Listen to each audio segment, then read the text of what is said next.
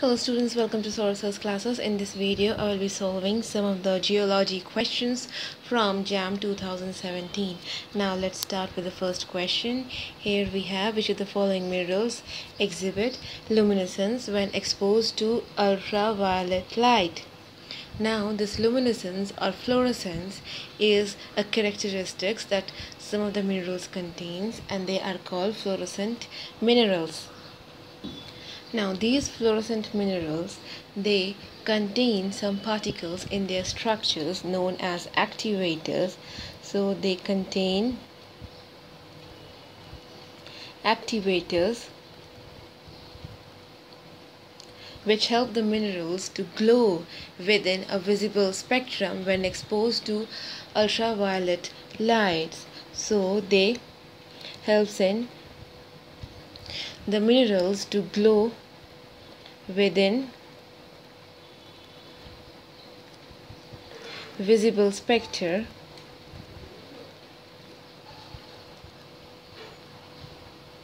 spectrum.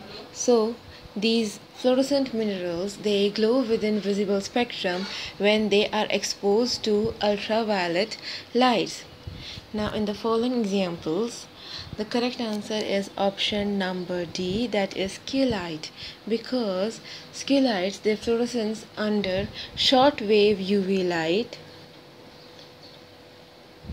Short wave UV light. And these minerals they glow a bright sky blue color. They glow in bright sky blue color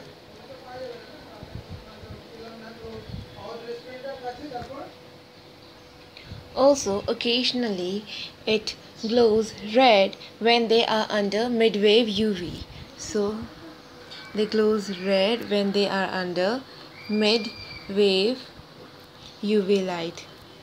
So, the correct answer of question number 1 is option number D that is scheelite.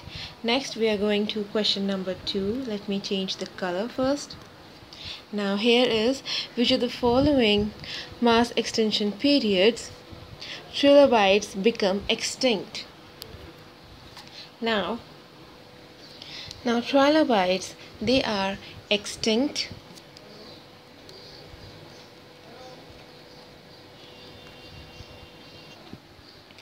Trilobites are extinct marine arachnomorph arthropods and these marine animals they become extinct by the mass extinction at the end of Permian period. So the correct answer of this question is option number B. In late Devonian period, so in late Devonian period, all trilobite orders except Priotides,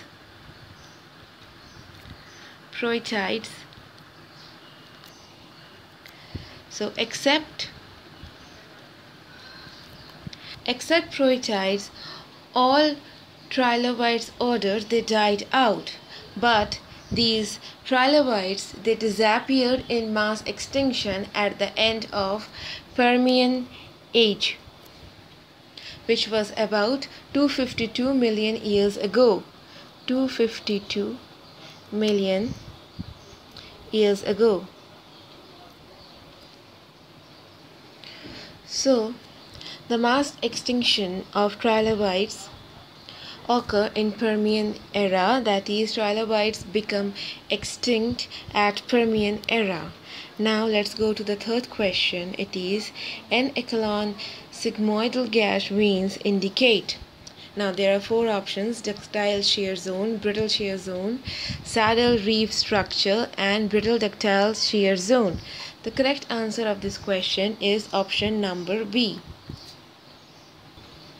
These en echelon veins they are formed in two stages two stages.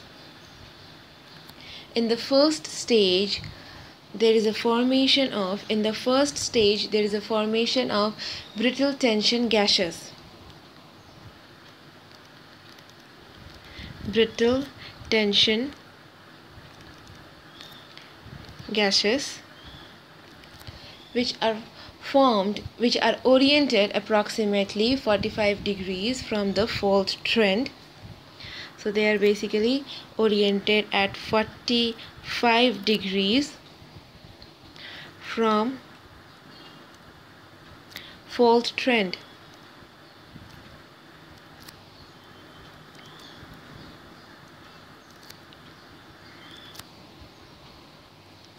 This is the first stage and in next stage these sigmoidal shapes are formed due to rotation during ductile deformation.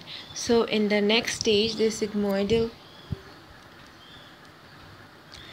sigmoidal shapes are formed due to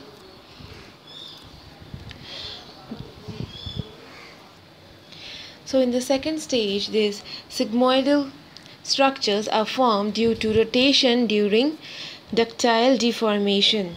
So these Échelon veins are formed in two stages. In the first stage, brittle tension gashes are formed which are oriented in 45 degrees from the fault trend and in the second stage, the sigmoidal shapes are formed due to rotation during ductile deformation. So the correct answer of this question is option number B.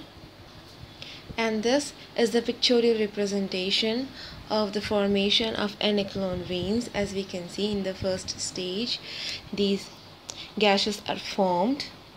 And in the second stage this sigmoidal shapes are formed